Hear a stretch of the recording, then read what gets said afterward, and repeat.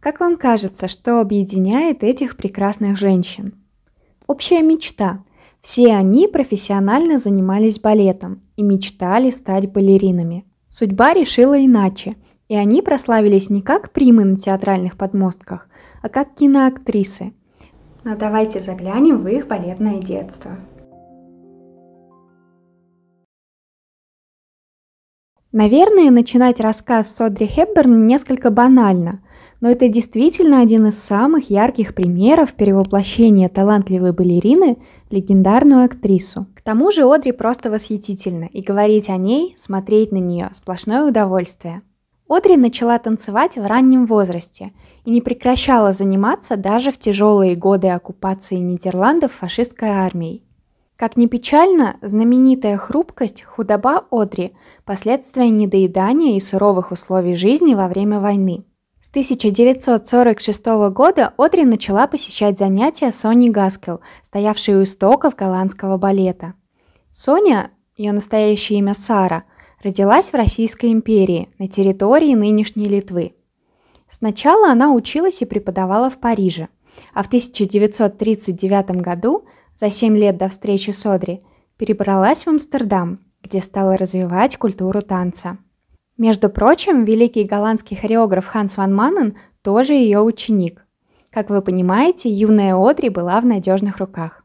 Приняв через какое-то время решение переехать в Лондон, девушка пошла учиться к еще одной великой женщине.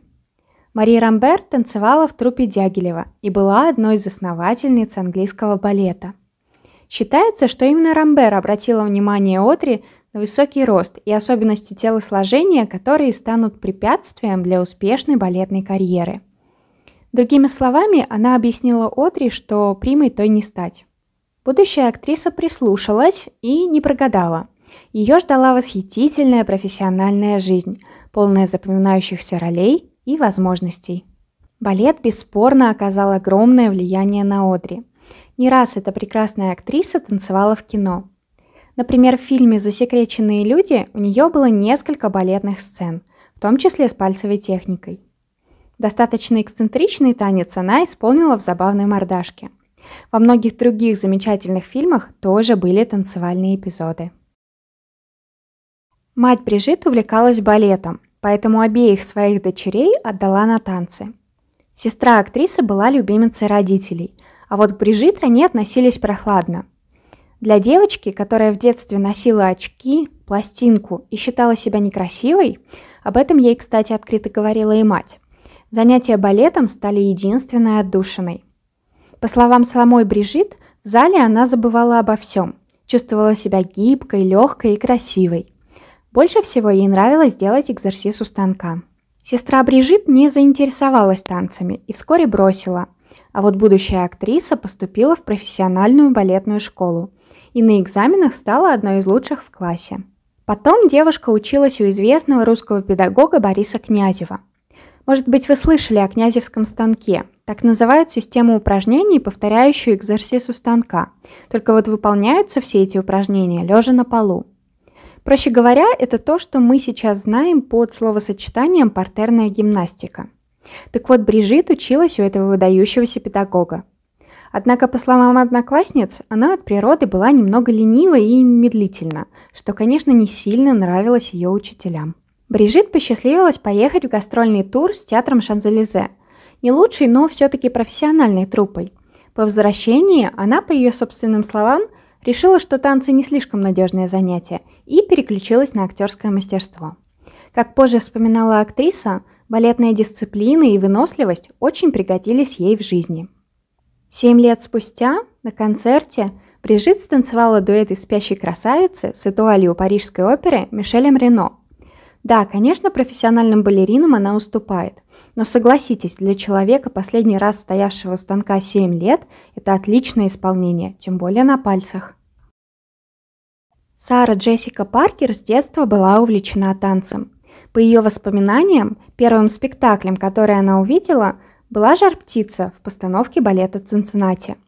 Хотя это не очень известная труппа, и об уровне подготовки танцовщиков мы можем только догадываться, маленькой Саре Джессике этого было достаточно, чтобы заболеть балетом. В Цинциннати девочка посещала местную школу искусств, а позже занималась в престижной школе американского балета в Нью-Йорке. Свою карьеру юная Сара Джессика начала не как драматическая актриса. Первые роли она получила в бродвейских мюзиклах, где как раз нужно было хорошо танцевать. Став известной, актриса признавалась, что балетное детство помогло ей физически воплощать своих героинь. Походка, бег, движение – все это играло на образ, и без танцевального опыта, возможно, не выглядело бы достаточно убедительным. Хоть Сара Джессика Паркер и не стала балериной, свою любовь к искусству она проносит через всю жизнь. Например, ей принадлежит идея документального фильма о Нью-Йорк Сити Балlet, который дает зрителям возможность погрузиться в закулисную жизнь прославленной труппы. А еще Сара Джессика состоит в совете директоров Нью-Йоркского балета. У маленькой Пенелопы было столько энергии, что ни она сама, ни окружающие категорически не знали, как с этим быть четыре года девочку отдали в балет, и это было отличным решением. В дальнейшем Пенелопа 9 лет проучилась в Испанской национальной консерватории. Но как-то раз увидела фильм Педро Альмадовара и влюбилась в кино. Тогда девушка начала ходить на занятия в школу аргентинской актрисы и педагога по актерскому мастерству Кристины Рота. По словам Пенелопы, балет научил ее дисциплинированности, которая не раз выручала актрису на съемочной площадке.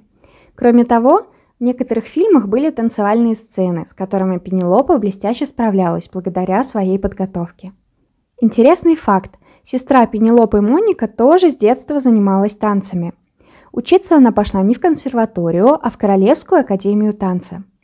После выпуска балету она предпочла фламенко и поступила в труппу всемирно известного танцовщика этого жанра Хакина Кортеса, где протанцевала 7 лет. Затем ей, как и сестре, захотелось развиваться в сфере кино. Моника снялась в сериале «Un paso adelante», испанском аналоге фильма «Шаг вперед», где сыграла роль танцовщицы. Мать Наоми Кэмпбелл – профессиональная танцовщица.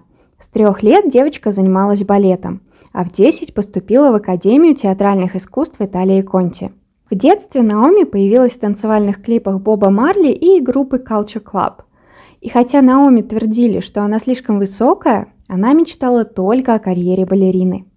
Но однажды в торговом центре ее заметила скаут модельного агентства, и балетные перспективы померкли по сравнению с новыми возможностями. Уже в 16 лет Наоми появилась на обложке Vogue. Занятный факт из разряда курьезов. Когда Наоми встречалась с русским миллионером Владиславом Дорониным, на 40-летие он подарил ей Большой театр, нет, серьезно, он на день снял для нее театр, пригласил педагогов и артистов труппы для массовки. Модель сделала класс, конечно, на камеру, красиво постояла и немного потанцевала на великой сцене. Наоми сказала журналистам, что наконец сбылась ее детская мечта, что, безусловно, мило. Но вообще, честно говоря, акция спорная. Вы что об этом думаете? Натали Портман, которая всем любителям балета известна по роли Нины в «Черном лебеде», занималась танцами с 4 до 12 лет, после чего сосредоточилась на актерской карьере. Мне не очень хочется подробно останавливаться на Натали, потому что, во-первых, о ней много говорили в контексте «Черного лебедя», а во-вторых, с этим фильмом, с этой ролью связана не очень приятная история. В сложных танцевальных сценах вместо Натали участвовала балерина ABT Сара Лейн – которую не указали в титрах как дублершу. Кроме того, на разных интервью члены съемочной группы говорили только про танец Натали и ее достижения. Когда по этому поводу высказалась Сара, все стали утверждать, что в 85% танцевальных сцен мы видим Натали Портман, а не профессиональную балерину. Конечно, Натали старательно готовилась к роли полтора года и наверняка каких-то успехов достигла. Но лично я согласна с Сарой. Это неправильно, что люди начинают думать, будто за год можно достичь уровня профессиональной артистки балета. Это обесценивает колоссальный труд балетных, которые тратят по 10 лет своей жизни на обучение в академии и всю карьеру совершенствуются. Диана Крюгер танцевала с двух лет. В дальнейшем она училась в престижной королевской балетной школе в Лондоне и, кажется, имела неплохие перспективы. Однако все перечеркнула травма колена. Вспоминая эти годы, Диана признавалась, что балет научил ее труду и терпению. Показал, чтобы добиться успехов, надо вкалывать. В возрасте 9 лет Мия Васиковская начала заниматься балетом в Центре танца в австралийской Канберре. По словам актрисы, танцуя по 35 часов в неделю, ей приходилось параллельно учиться в общеобразовательной школе, что было нелегко. Какой-то момент у Мии начались проблемы со здоровьем, так что о балетной карьере пришлось забыть. В интервью актриса говорила, что с одной стороны танец дает ощущение полной свободы, но в то же время театральная среда откровенно нездоровая. Мия постоянно была недовольна своим телом из-за того, что каждый день приходилось работать перед зеркалом. По ее словам, девочки в балете зацикливаются на мелочах, которые на самом деле большой роли не играют. Но Мия признает, что танцевальный опыт помогает ей справиться со стрессом на прослушиваниях и кастингах. Зная, что этими именами список актрис-балерин не ограничивается, но не хочется делать это видео бесконечным. Надеюсь, вам интересно было его смотреть. Если так, пожалуйста, поставьте ему лайк и поделитесь со своими балетными друзьями. Большое спасибо за просмотр и до встречи!